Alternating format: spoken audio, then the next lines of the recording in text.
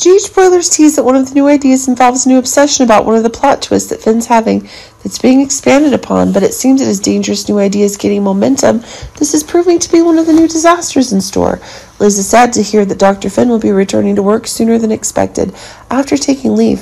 Finn's taking time to process the death of his father, Gregory, but is not coping well with the loss. He started drinking.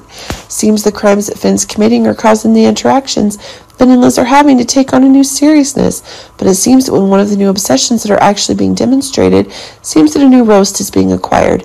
Liz is now losing any faith in Finn himself, and this is causing, despite the hot new events that are happening, Finn doesn't seem to be able to control his drinking the night before his father died, when he accidentally drank a glass of alcohol at Chase's wedding reception.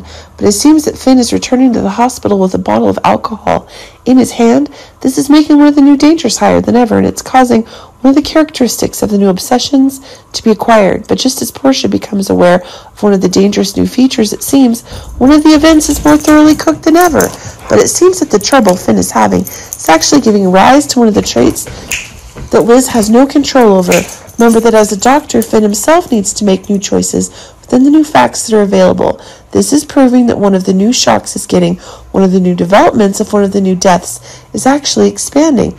But it seems that the story is precisely that a new disaster is brewing if death is being confirmed, and the story is about one of the calculations that Finn is actually performing an operation when he's drunk, and this is causing the very death of the patient to be confirmed.